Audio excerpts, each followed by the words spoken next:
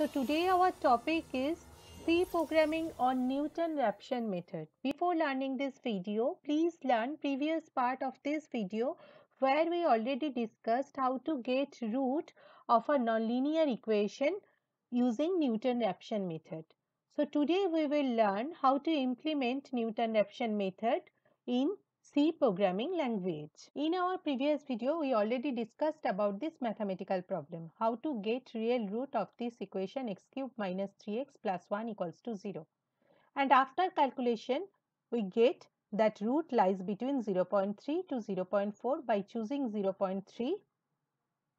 We start drawing this table where there are four columns xn, fxn, f xn and the formula xn plus 1 equals to xn minus fxn divided by f dash xn. Now first we start from 0.3, calculate fxn, calculate f dash xn and then calculate xn plus 1. By putting this value here again repeatedly do the same task. And finally we get the value of fxn which is almost equals to 0. So this one is our root. And then I make it correct up to 4 decimal places and get the root.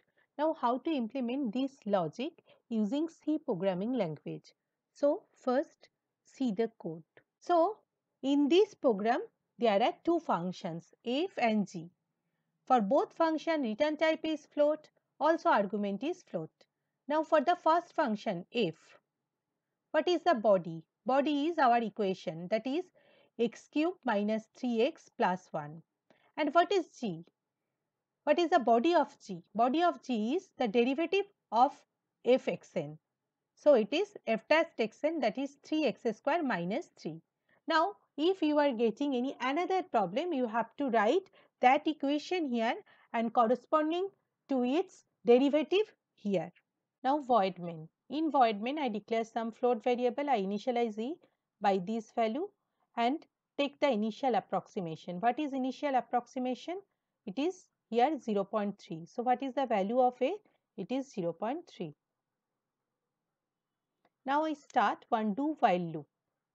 This is an infinite loop. I have to calculate xn plus 1.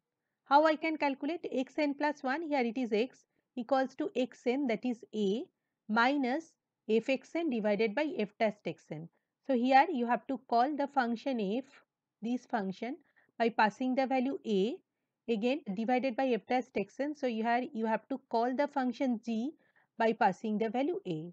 In this way, you calculate xn plus 1. Here it is x. And then what you have to do? Here you have to give in place of xn, here you have to give what? xn plus 1 value. So here I am writing a equals to x. Now see, when I have to stop, if absolute value of fx minus fa less than this value e, then I have to stop. I give one break statement and come out from the loop. Now I have to print the value of x. So the root is x. So when I run the program, initial approximation is 0.3. So the root is this one. So output of this problem is Now your task is to write a C program to implement Newton-Raphson method. If you are facing any problem, ask me in the comment section. For getting more and more updates, please, please like, share and subscribe my channel. That's all for today. Thank you.